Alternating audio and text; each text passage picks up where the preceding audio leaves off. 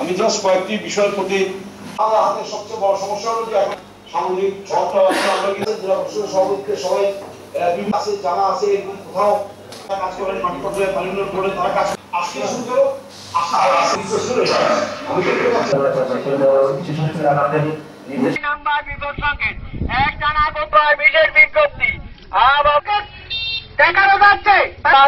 বিজ্ঞপ্তি। জনসাধারণেরা টাইমের মধ্যে বাংলাদেশ উপকূল অতিক্রম করতে পারে।